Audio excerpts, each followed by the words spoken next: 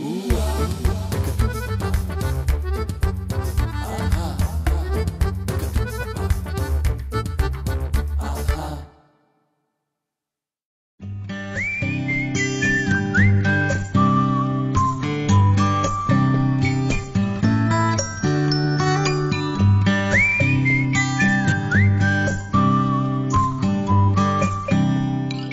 Viševekovno trajanje rudarenja na rudniku navodi na zaključak da je iskopavanje rude počelo još u vreme praistorije. U toku vekova je više puta napuštano i ponovo obnavljano. Rudnička planina svakako jedna je od najinteresantnijih, ako ne i najbogatijih rudarskih oblasti Srbije. Na rudištima Rudničke planine otkopane su srebrnosne, olovne i bakarne rude u svim periodima rudarskog rada, u praistorijskom i antičkom dobu, srednjem veku, u doba turske vladavine i austrijske okupacije Srbije. Za vreme prvog srpskog ustanka u prošlom veku iskopavanje se i danas uspešno nastavlja. Sve je počelo dolaskom Ilira i Kelta na ove prostore koji su se zanimali za rudu i eksploatisanje rudnog blaga planine Rudnik. Više od jednog milenijuma od boravka Rimljana na rudniku do prvog pomena rudnika od 27.10.1296. godine, koji se u dokumentu odnosi na 1293. kada je na osnovu Dubrovačkih arhiva jedan veći karavan opljačkan od strane Stanislava Crvenog lokalnog vlastelina sa rudnika. O rudniku u srednjem veku i Nemanjićima dosta podataka se može naći u zapisima, dokumentima dubrovačkih trgovaca koji su bili na rudniku. U rudničkoj kovnici novca kovani su takozvani rudnički groševi, koji se prvi put pominju 1316. godine. Svi srpski vladari od kralja Dragutina do despota Đurđa kovali su groševe na rudniku.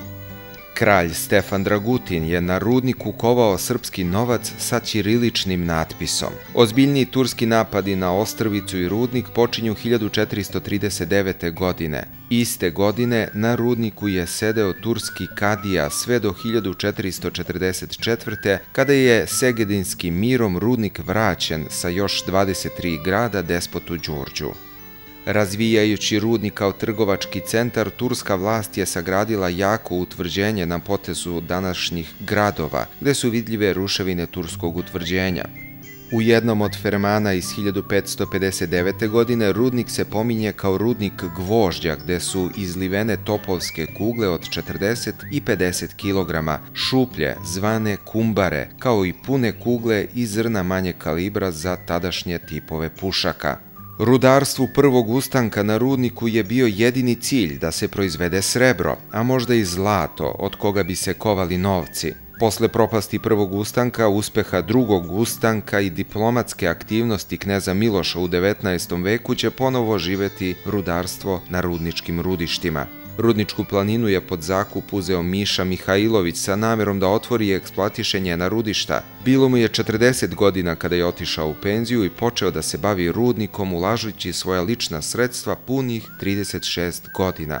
Najpre sam, a zatim sa svojim deoničarima Đorđom Vajfertom, pivarom iz Beograda i apotekarom iz Svilajnca Kornelijem Raškocijem. Između dva rata osnovano je društvo Kačerski rudnici AD sa kapitalom od 3 miliona dinara. Po završetku drugog svetskog rata, nova vlast, kao i sve prethodne tokom minulih godina i vekova, nastojala je da obnovi rudarstvo u zemlji. 5. januara 1953. osniva se preduzeće Rudarski basen Rudnik sa sedištem na Rudniku i predmetom poslovanja istraživanje i eksploatacija olovne i bakarne rude. Društveno preduzeće Rudnik i flotacija Rudnik na aukcijskoj prodaji kupilo je preduzeće Kontango iz Beograda i kao većinski vlasnik sa 70% akcija krenulo u uspešnu reorganizaciju i nastavak proizvodnje rude i prerade rudnih koncentrata.